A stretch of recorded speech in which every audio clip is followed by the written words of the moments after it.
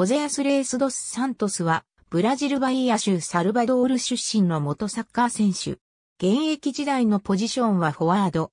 アトレチコ・パラナエンセ在籍中の1995年に、ブラジル全国選手権2部で14ゴールを上げ得点王を獲得、クラブのセリエ A 昇格に貢献する。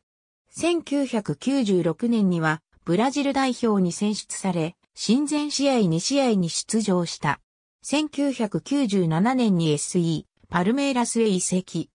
1999年コパリベルタドーレスでは、デポルティーボカリとの決勝戦、第2試合の76分に2試合合計スコアで同点となるゴールを挙げ、試合を PK 戦へと持ち込ませた。パルメーラスは、この PK 戦を制し、初の南米チャンピオンとなった。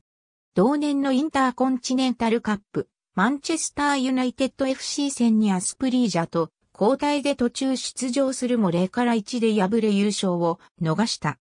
サントス FC から2002年8月に日本のヴィッセル神戸に移籍。1年目は9月15日のコンサドーレ札幌戦で J リーグ初ゴールを決めるなど15試合6ゴールの成績を残した。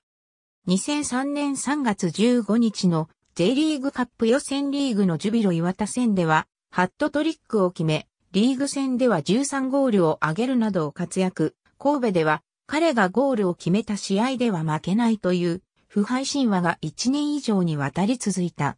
その後、半年間母国ブラジルでプレーした後、シーズン途中の7月にこの年が J1 昇格初年度のアルビレックス新潟に移籍。FW エジミューソン、MF ファビーニョらと変則3トップを形成。